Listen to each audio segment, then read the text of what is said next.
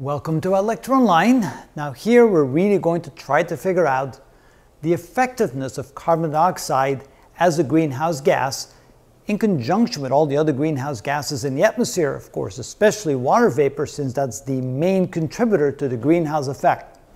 So the total greenhouse effect, all gases combined, is about 59 degrees Fahrenheit or about 33 degrees centigrade, which means that without any of the greenhouse gas in the atmosphere, it would be about 59 degrees Fahrenheit or 33 degrees centigrade cooler in the Earth on average as compared to with the greenhouse gases. That's a huge difference, an enormous difference.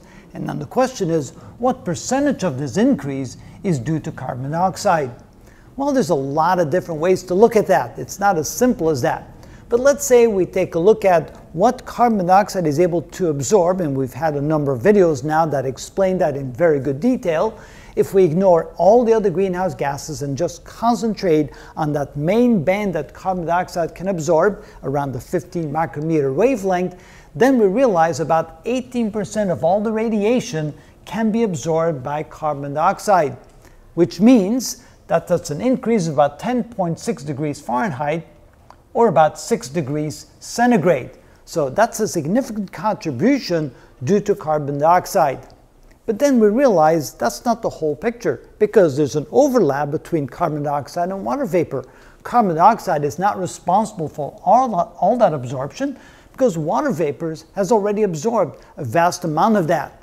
So when we look at the overlap and we realize there's a big overlap between carbon dioxide and water vapor, at 285 parts per million, the contribution alone, that's that slice there, that was not able to be absorbed by water vapor that we saw in the previous video, that accounts for about 6.45% of all the radiation absorbed by all the gases, which means an increase of about 3.8 degrees Fahrenheit or 2.1 degrees centigrade.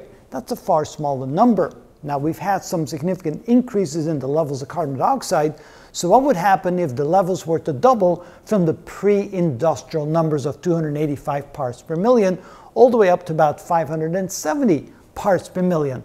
Well, that percentage increase would then course go up because water vapor would still presumably stay the same. And of course that's again not the whole picture because we assume that with increased temperatures and increased carbon dioxide water vapor would probably increase as well. So we'll take a look at that later. But if we ignore that for now the increased contribution would go from 6.5% to about 7.1% for an increase of 4.2 degrees Fahrenheit or 2.3 degrees centigrade so basically, almost a half degree Fahrenheit increase for a doubling of the carbon dioxide if we only take into account the additional energy that would be absorbed, radiated from the surface of the Earth, and no other factors involved. So we're just kind of slicing and dicing it to get a good, good picture of full understanding.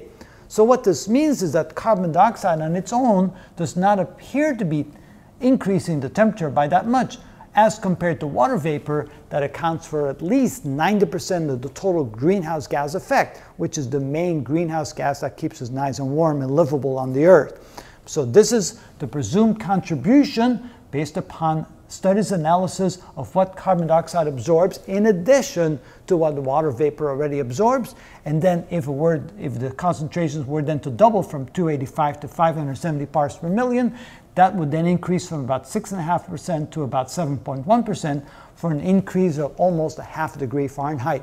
And so that is based upon pure analysis of what carbon dioxide is able to absorb, ignorant of all other factors. Of course, those are important as well, and we're going to look, take a look at those at some later videos.